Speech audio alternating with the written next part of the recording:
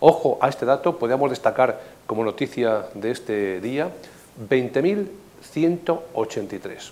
Es el número de habitantes con los que cuenta Medina del Campo, según el INE, a 1 de enero de 2022. Repito, 20.183 vecinos. Estamos ahí, en esa línea roja, donde podemos eh, bajar de los 20.000 habitantes y esto sería tremendo, tremendo para Medina del Campo. Perderíamos muchos servicios, pero hay que ser optimistas, optimistas y pensar que cuando de nuevo llegue el próximo 1 de enero, esta cifra va a aumentar. Por esta razón, el Ayuntamiento de Medina, a través de su alcalde Guzmán Gómez, esta mañana nos presentaba una batería de acciones que van a llevar a cabo para intentar, si no que descienda, mantener este número de habitantes en Medina. Escuchamos a Guzmán Gómez, alcalde de Medina del Campo.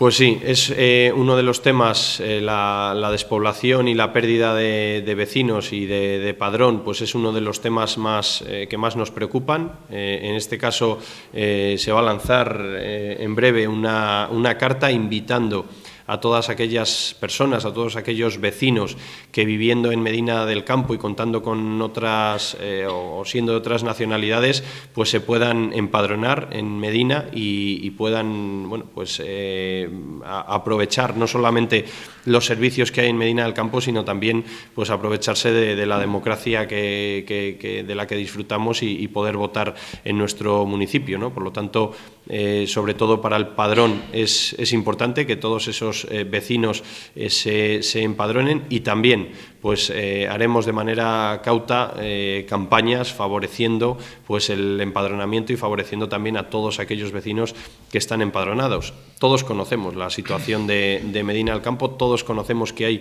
muchísimos vecinos de los pueblos de nuestra comarca que viven que trabajan y que utilizan los servicios de Medina y sin embargo siguen empadronados en otros eh, municipios. Evidentemente aquí hay eh, total libertad para, en, ese aspecto, pero desde luego que nosotros tenemos que, luchar por seguir manteniéndonos en ese límite y superar los, los 20.000 habitantes y tenemos la esperanza de que a través de, estas eh, bonificaciones y a través de estas campañas pues eh, podamos no solamente mantenernos en esa cifra superior a los 20.000, sino también intentar eh, crecer en base a las posibilidades.